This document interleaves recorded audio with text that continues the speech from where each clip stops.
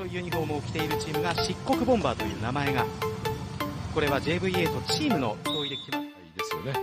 はい。でももう十分、あの、こういったことができる力を持ってます。わーっとこれはすごいまに開けると、まあ、好きなことをしてしまう。はい。まあ、そういう選手ですね。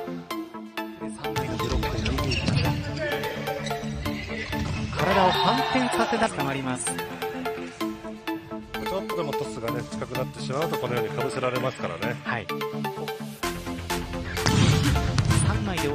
石川祐希を狙っていきましたそしてこちらも石川自ら行きます。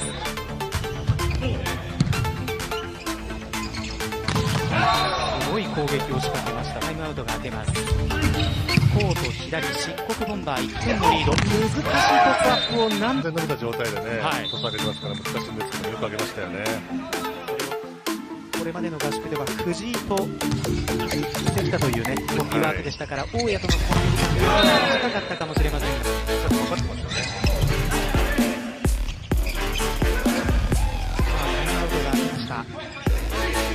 逆転したこれまでは今まで感じなかったと言いました中垣内監督ただボール練習していると求めるレベルには到底及んでいなかった。頭を抱えなくこの14番石川祐希だったかもしれません。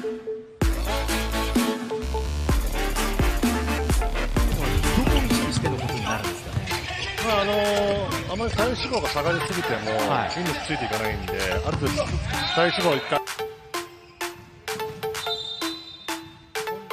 国ボンバーには D というその2人のミドルプレイヤーです。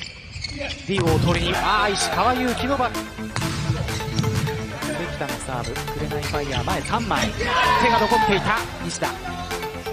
西田石川小野寺。3枚の中で最後は石川を選択してきました。セッターの関今度は高橋ランのサーブですラントップから再び大塚バックセンターの攻撃縦の D クイックになりましたがこう選んでスパイク打ってきますからね。点が入れやすくなる方法をね、考えながら。とかある程度離して、離してトス上げろって言ってたんですけども、今はああやってタッチアウトどんどんやりますから、ネットについても構わないってトス上げてるんですよね。そうなんですね練習してるんですけども、はい、なか難しいところではありますけども、あのまあ、我々もその対策としてね、まあ、少し前後を取って、そうすると左右ぶつかることがないので、川祐希前に小野寺。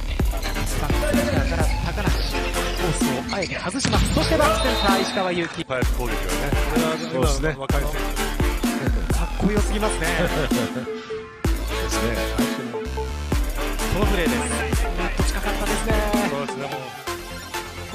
でですから明確な意図があってということですよ、